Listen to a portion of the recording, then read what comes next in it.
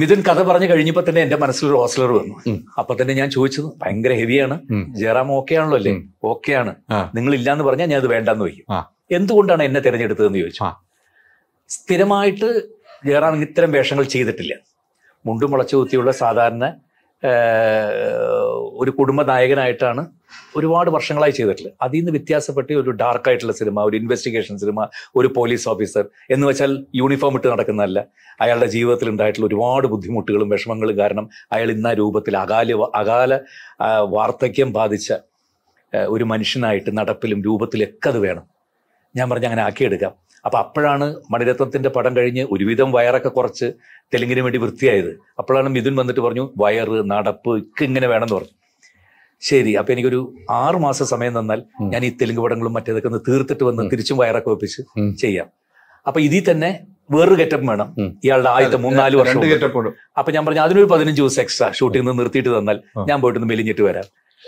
അപ്പൊ ഇതെല്ലാം സമ്മതിച്ച് എനിക്ക് പിന്നെ ഇതിന്റെ കൂടെ വർക്ക് ചെയ്യുക എന്ന് പറഞ്ഞാൽ ഭയങ്കര എക്സ്പീരിയൻസ് തന്നെയാണ്. ഓരോ കാര്യങ്ങളും. ഞാൻ ഒരു ഷോട്ട് കഴിഞ്ഞാൽ കഴിവതും ഞാൻ കാരവനിലൊന്നും പോയിരിക്കാറില്ല. മിഥുന്റെ അടുത്ത് തന്നെ ഇരിക്കും. ഈ മനുഷ്യൻ എന്താ ചെയ്യണമെന്നൊക്കെ നോക്കി പഠിക്കാം ഒരു കാരവാനിൽ ഇരിപ്പ് അല്ലെങ്കിലും ചേരാൻ പറ്റുന്ന കുറവാണെന്നാണ് എന്റെ ഒരു കാഴ്ചപ്പാട്.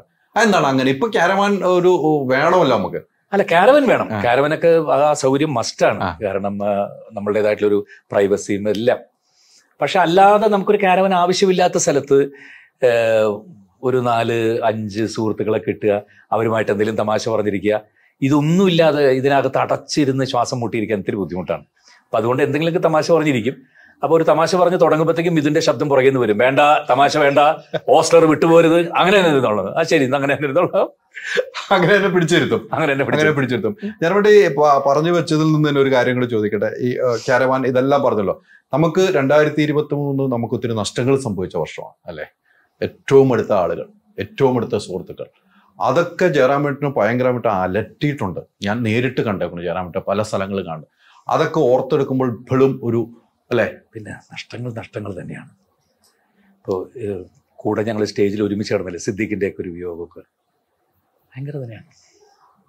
അതൊക്കെയാണ് നമുക്കുള്ള ഒരു നഷ്ടങ്ങൾ നിങ്ങളുടെ ഡിസൈനർ ഹോം എന്ന സ്വപ്നം യാഥാർത്ഥ്യമാക്കുന്നു. Designed by concepts